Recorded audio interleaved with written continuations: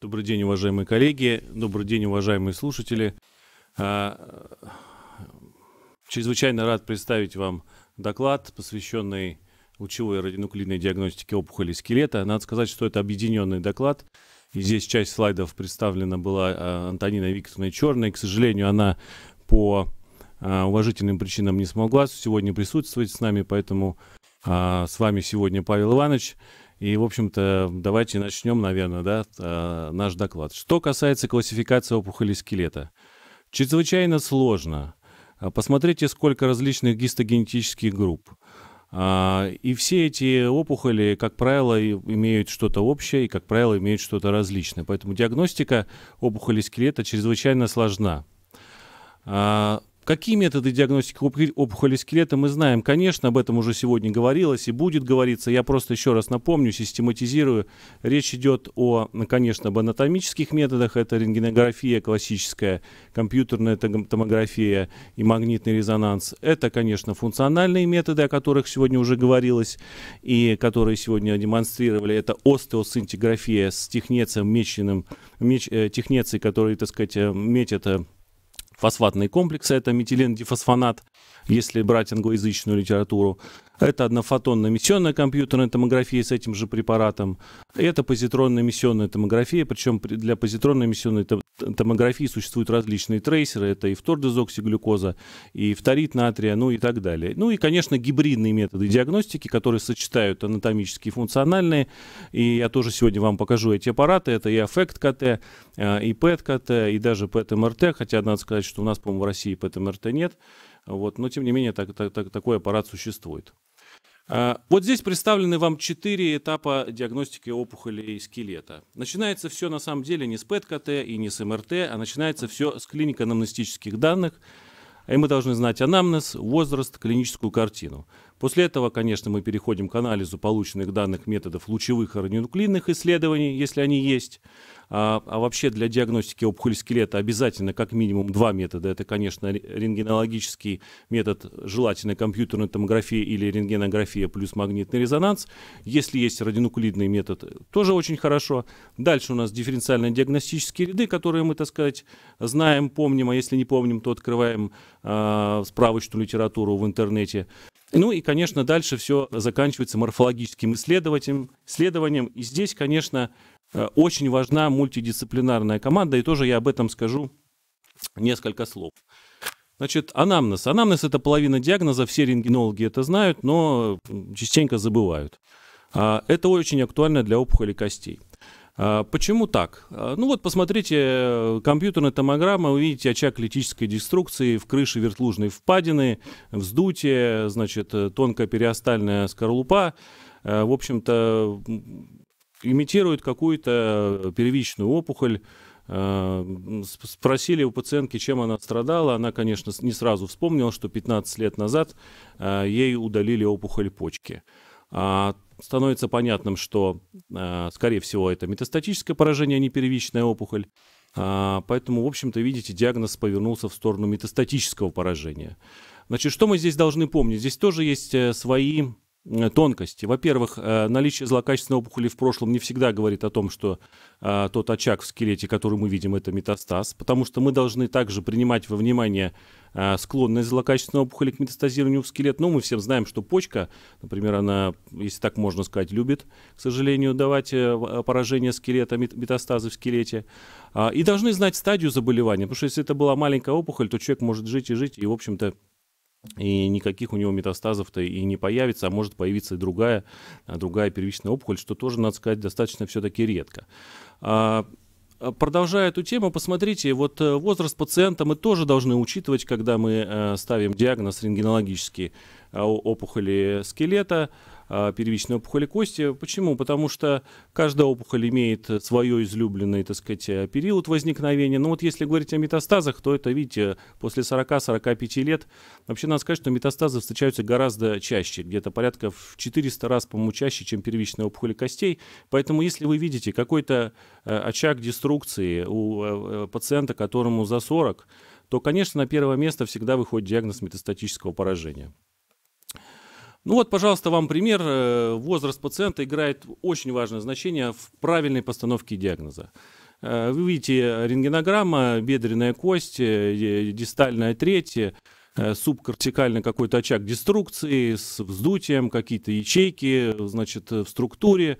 Картина первичной опухоли бедренной кости. И все бы хорошо, если бы мы не знали, что человеку 60 лет, и оказалось, что гистологически это метастаз рака легкого. Вот такую картину может иметь метастатическое поражение при раке легкого, и не только.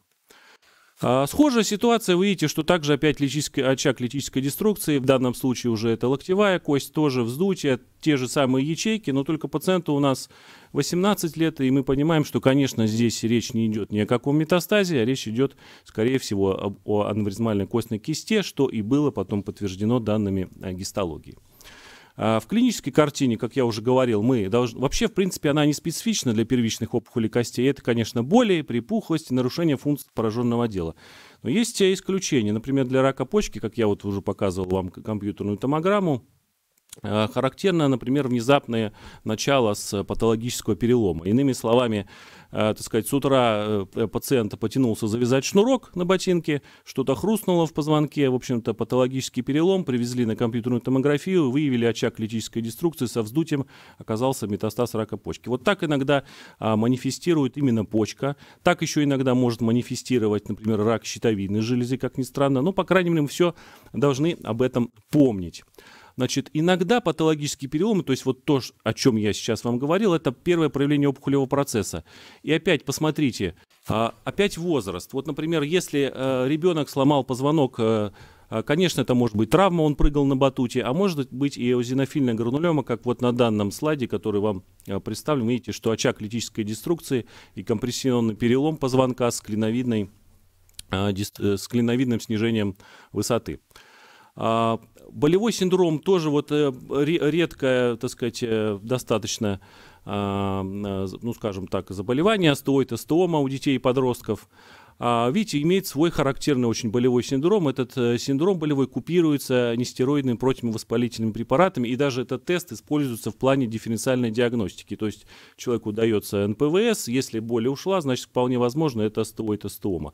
Конечно, э, все это необходимо делать, э, так сказать, чтобы это делал врач, врач желательно онколог, который, в общем-то, понимает, что он хочет получить от этого теста.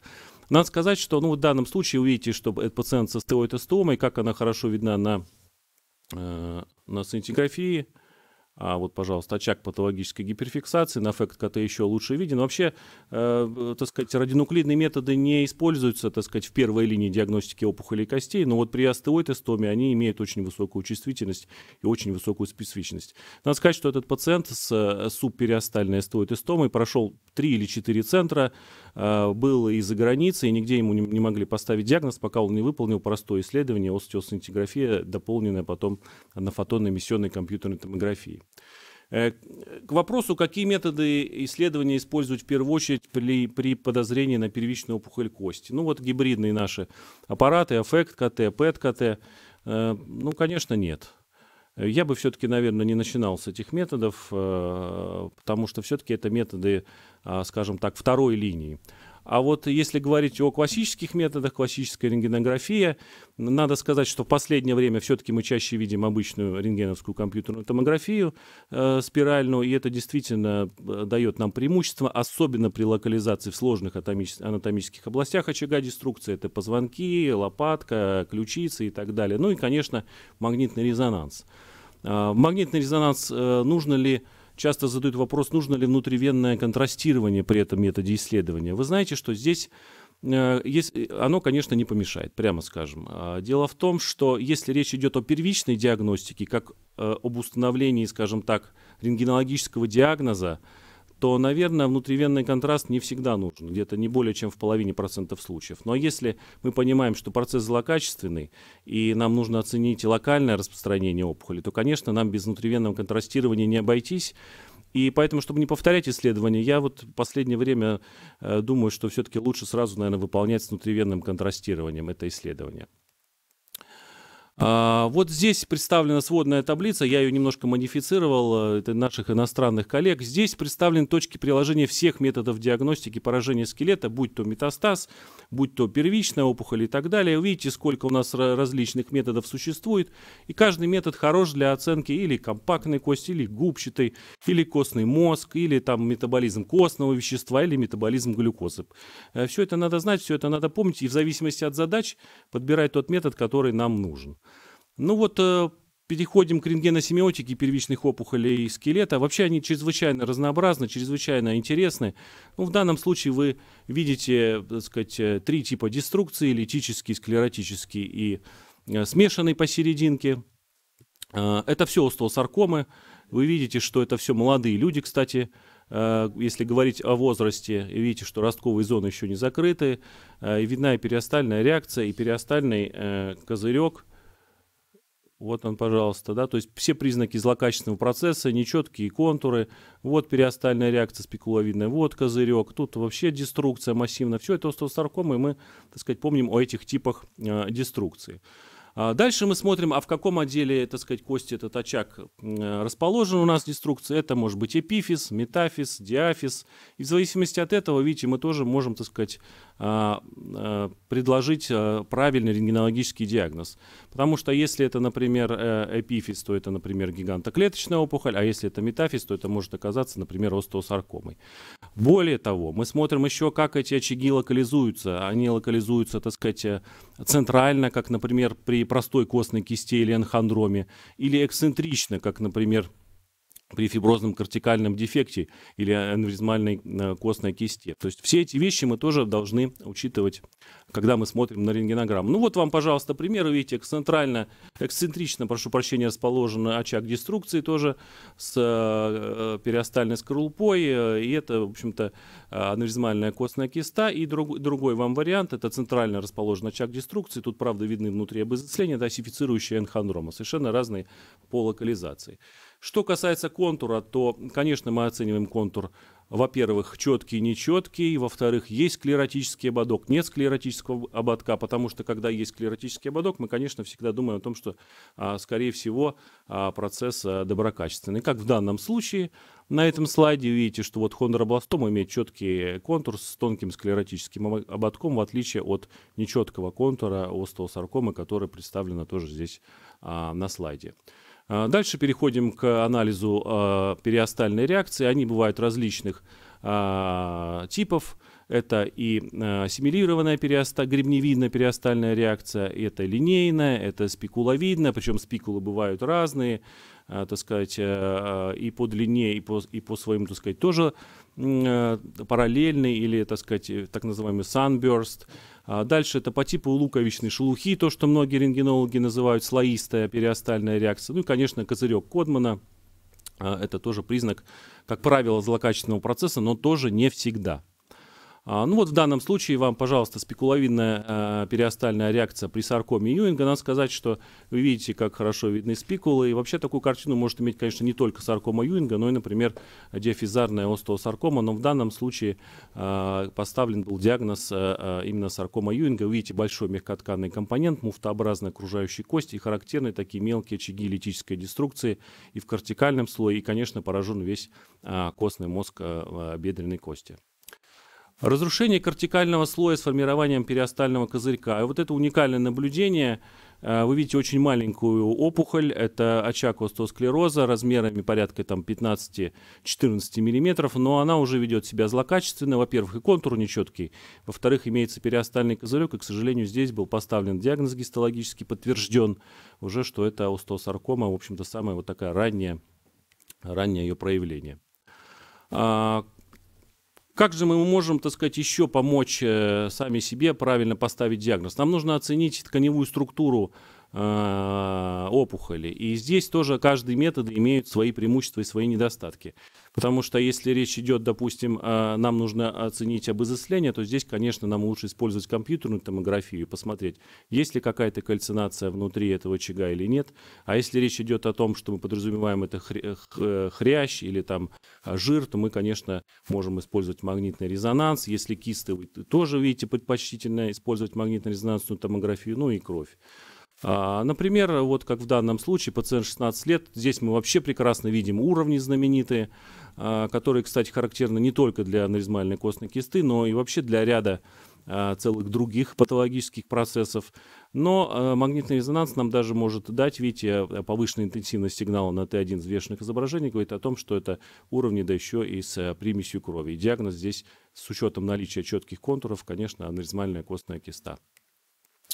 А, вот, пожалуйста, еще один пример. Это центрально расположенный очаг литической деструкции с нечеткими контурами. По данным магнитного резонанса вы видите, что это хрящ, э, видны дольки даже на, на изображениях э, Т2 с подавлением сигнала от жира. А, и, в общем-то, диагноз здесь был понятен. Это центральная э, хондросаркома. А, что касается радионуклидных методов диагностики первичных опухолей скелета – Э, метод имеет низкую специфичность. Ну вот посмотрите, очаг э, в скелете, в лонной седалищный костяк, два очага, да, а подозрителен там, то ли метастаз, то ли это какая-то опухоль. А оказалось, что это перелом. Потому что сам метод э, остеосцинтиграфии, он имеет достаточно высокую чувствительность, скажем так, относительно высокую чувствительность, но все-таки невысокую специфичность, в отличие от рентгенологического метода. Что касается позитронно-эмиссионной томографии, то здесь тоже я призываю, так сказать, э, очень осторожно оценивать а, полученные данные, потому что существуют и ложноположительные заключения. В данном случае это а, не наше наблюдение. Вы видите, что имеется очаг гиперметаболизма глюкозы в головке бедренной кости. На самом деле оказалось, что это сухожильный ганглий вот, внутрикостный. А, и это ложноположительный результат. Здесь никакого, не, не, нет никакой первичной опухоли, не было выявлено никакого а, так сказать. Э, а вот на другой картинке изображены метастазы, как они тоже хорошо видны, видны в грудине и в позвонках при э, позитронно-эмиссионной томографии с глюкозой. Надо сказать, что склеротические очаги не всегда видны на ПЭТ-КТ с глюкозой, там иногда преимущество дается методу аффект-КТ с э, остеотропными препаратами. Ну вот э, перейдем к гибридным методам диагностики опухоли скелета. У меня только единственное, я могу очень долго говорить, уваж... да, уважаемые, так сказать, коллеги, да, если можете меня остановить, э, это Павел Иванович, так сказать, человек увлекающийся. Ну, вот э, что касается гибридных методов диагностики, видите, что аффект КТ, а, остеосцинтиграфия, высо относительно высокая чувствительность, низкая специфичность, компьютерная томография, высокая специфичность, высочайшая, но низкая чувствительность. Объединение этих двух модальностей дает нам и высокую чувствительность, и высокую специфичность.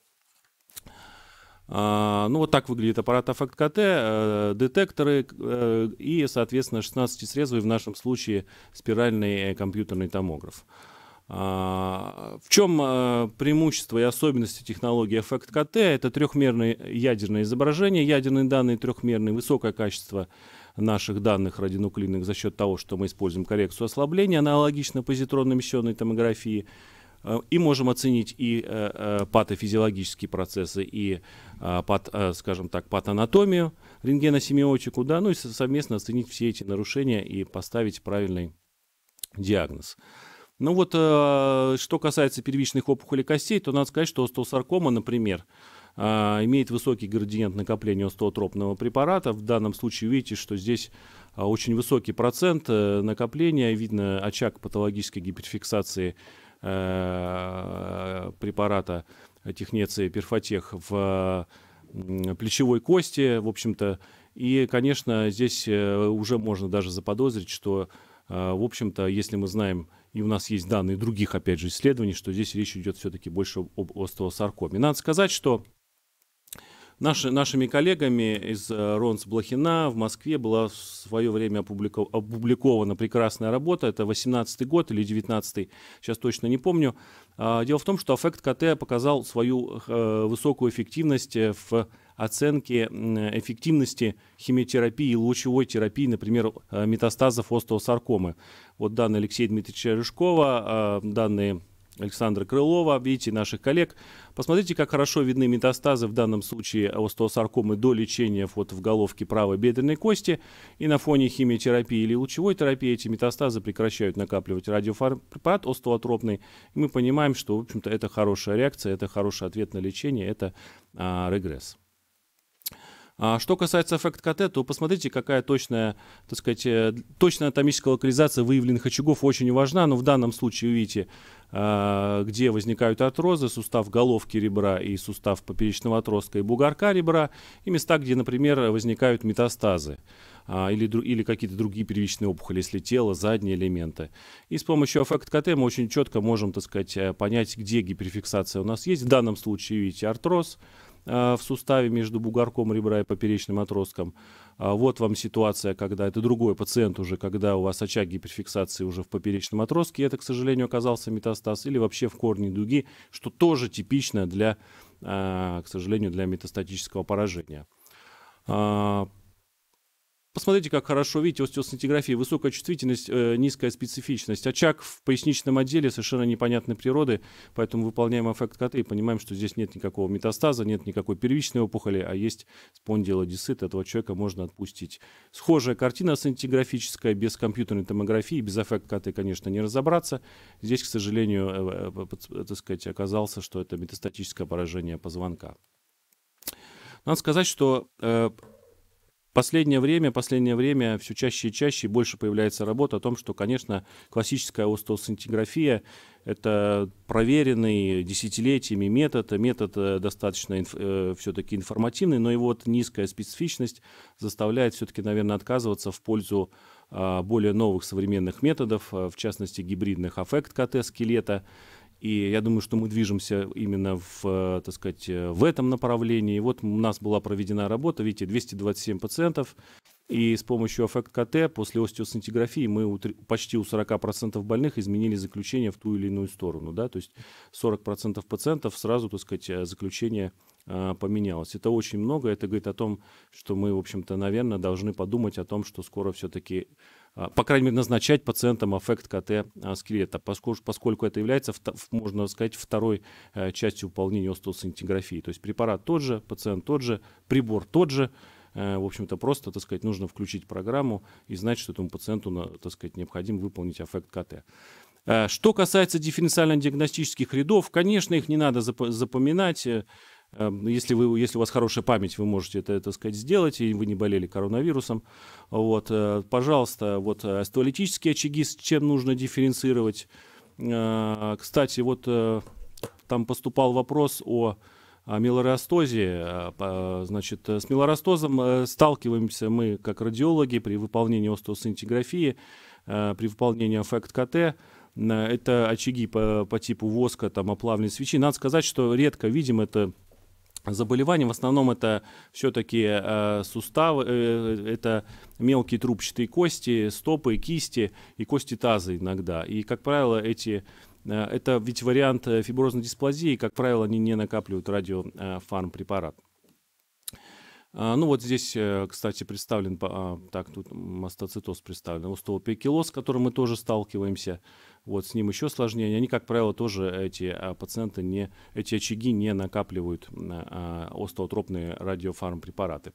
Ну и морфологическое исследование в диагностике опухоли скелета, конечно, это самое главное, что у нас есть, это морфология, и э, э, без морфологии мы, естественно, не сможем правильно поставить диагноз, но и морфолог, как выяснилось, без рентгенолога тоже не всегда может поставить правильный диагноз, а связано это с тем, что, во-первых, это маленький кусочек, а нужно иметь всю картину целиком. И, конечно, вот мультидисциплинарная команда, она у нас в институте работает уже, наверное, второй или третий год, и мы, так сказать, э, действительно сейчас понимаем, что без этого правильная диагностика опухоли костей а невозможно. Без слаженной совместной работы хирурга, клинициста, рентгенолога или радиолога и, конечно, а, а, морфолога. Ну, еще раз напомню, что все начинается с клинико-анамнестических данных, потом методов диагностики скелета, ну и дальше уже заканчивается морфологическими сложными исследованиями. А, благодарю за внимание. Буду рад ответить на э, какие-то вопросы. Спасибо.